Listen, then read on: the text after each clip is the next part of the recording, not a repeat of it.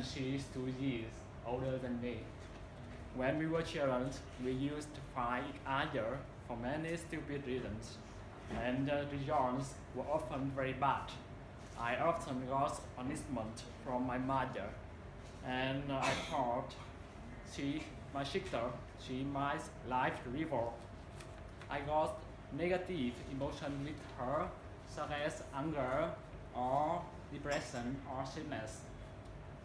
Uh, sometimes I ask myself, why we were siblings? Why is we born in the same family?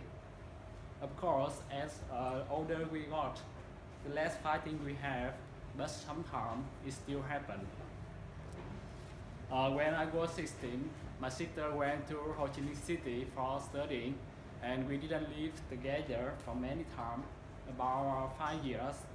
And when I got here, we lived together again. And I thought, now we are mature, we got emotion controlling skill, we got problem resolving skill, and so no more fighting could happen between us. But I was wrong. We even fight each other more and more. And uh, the reason was still stupid. Sometimes I wonder, in the same situation with another person, I would behave differently. I would be nicer, nothing serious. But with my sister, I am very bad, bad guy. And uh, after learning about psychology and some experience, I understand why we behave that way. It's because the emotion which I got from my childhood, the negative emotion which I got when fighting with her when we were children, I never forget it. They were still here and here, somewhere in my mind, and when we live together and be conflict, your emotion come back with me and it makes me even more angry, more sad, and um, we all got stupid behavior. From that phrase, I've learned one lesson.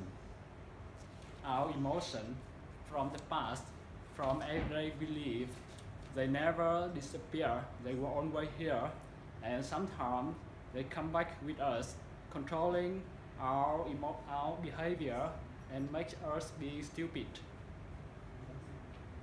I mean, food such as uh, fish or meat or vegetable, they are food for our body, but emotions, they are food for our soul. Your emotion contribute to our soul and make uh, and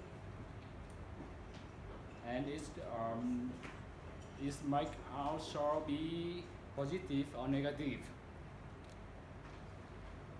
To live a happy life with beautiful soul, just create um, positive emotions and live happy every day.